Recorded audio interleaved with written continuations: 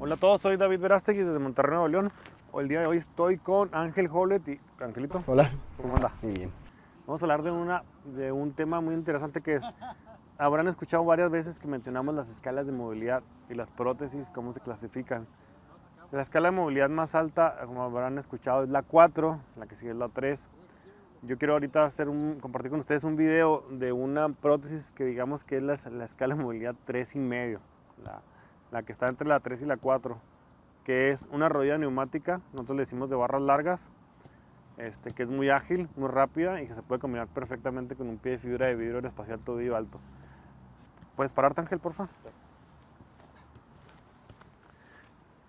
Es, la, la, rodilla es neumática, vuéltate para enfrente, tiene aquí una, una, un pistón de, de, aire, que es la que genera el movimiento de flexioextensión. Pero el gran beneficio que yo le veo, para acá, es que tiene las barras muy largas. Entonces, ¿qué significa que tenga las barras muy largas? Fle, fle, flexiona y extiende.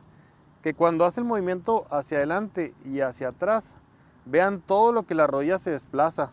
Es decir, ella camina hacia enfrente y lo vean todo lo que camina hacia atrás. Pa. Eso le da mucha seguridad al paciente, al usuario, para que le ponga todo el peso a la prótesis. Y como el pistón es grande y la rodilla es muy grande, cuando el paciente va caminando es bastante ágil. ¿Por qué es tres y medio? ¿Por qué le digo yo tres y medio? ¿Por qué no es cuatro? Porque en las pendientes no te va el control para poder bajar con pequeña flexión porque no tiene aceite. Pero en lo plano, porque sí me, tres y medio, porque en lo plano es muy veloz, es casi igual de veloz que una hidráulica, que una movilidad 4.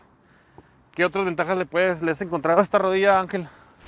Bueno, este, otra de las ventajas que, que, veo yo es que tiene un freno que tiene un freno de punta. Entonces, a comparación de, de, la rodilla que yo en lo particular uso, que es la KX06, la mía es una rodilla completamente libre, pero esta tiene un freno de punta.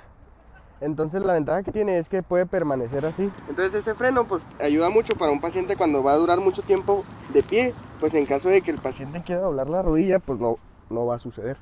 Cuando el paciente inicia con su marcha, cuando apoya la punta, la rodilla ya es totalmente, pues, pues se flexiona y se extiende sin ningún tipo de problema pero eso también ayuda a la hora de bajar escaleras, a la hora de una pendiente, pues el paciente se siente más seguro. O sea que es muy segura.